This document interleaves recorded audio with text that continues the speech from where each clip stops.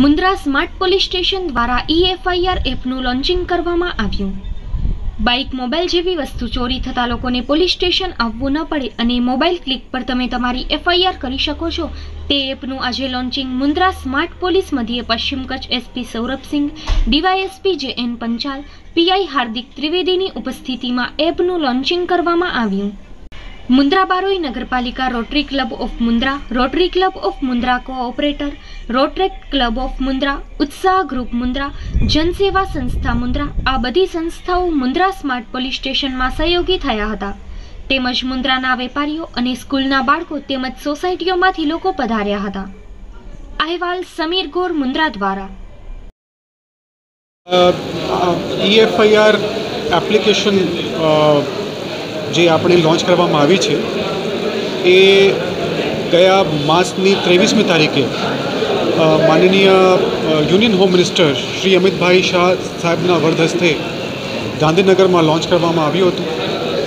E-FIR જે electronic FIR કહેવાય છે, અને એમાં મોબાઈલ ચોરી અને વાહન ચોરી, એ બે કેટેગરીઝ માટે હવે કોઈ પણ અરજદારને ફરિયાદીને પોલીસ સ્ટેશન જવાની જરૂર નથી.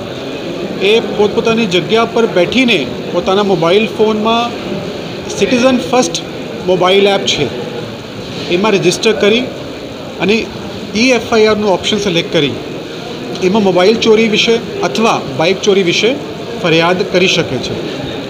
આ ફરિયાદના અડતાલીસ કલાકની અંદર અંદર જે તે અધિકારી જેની તપાસ કરી રહ્યા હશે એ ચકાસણી કરશે, ફરિયાદીને ત્યાં જઈને સ્થળ જ્યાંથી આ મિલકત એટલે મોબાઈલ યા વાહન ચોરાયું છે, ત્યાં જઈને તપાસ કરીને ખાતરી કરીને પોલીસ સ્ટેશનમાં રિપોર્ટ આપશે અને એના ઉપરથી જે આપણે એફઆઈઆર હોય છે, એ દાખલ કરવામાં આવશે.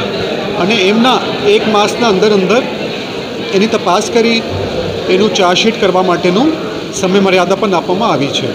તો આ ઈએફઆઈઆર માટે હવે વાહન ચોરી યા મોબાઈલ ચોરીના કિસ્સામાં પોલીસ સ્ટેશનમાં નહીં જઈને પોતાના ઘરે યા પોતાની જગ્યા ઉપર બેસીને ફરિયાદ કરવાનું એક સહુલિયત આપવામાં આવી છે પબ્લિક માટે.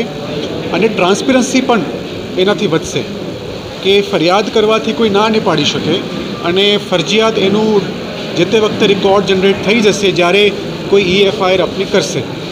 તો એના માટે આજે મુન્દ્રા પોલીસ સ્ટેશનની વિસ્તારમાં રોટરી ક્લબના હોલમાં આજે એક સેમિનાર રાખવામાં આવ્યું હતું.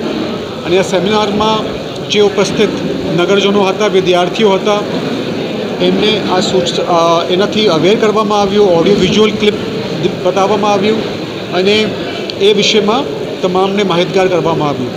હું માનું છું કે આ ઈએફઆઈઆરના પ્રયાસથી, પ્રયોગથી લોકોને એક રાહત, એક સહુલિયત મળશે અને પોલીસને પણ એમની જવાબદારી ન રૂએ જે ફરિયાદ લઈને પછી તાત્કાલિક દોડને એ ગુનાને ડિટેક્ટ કરીને આ મિલકતને, અરજદારને પરત કરાવવા માટેનું જે સૂચના આપી છે, એનાથી પણ પબ્લિકને ફાયદો થશે. અને આ બાબતમાં દરેક પોલીસ સ્ટેશનમાં ઓલરેડી ઈએફઆઈઆરનું ચાલુ થઈ નોંધ, સરકારની ગાઈડલાઈન મુજબ સોશિયલ મીડિયાના નિયમોના પાલન સાથે અમે જાહેરાતો પ્રકાશિત કરી છે.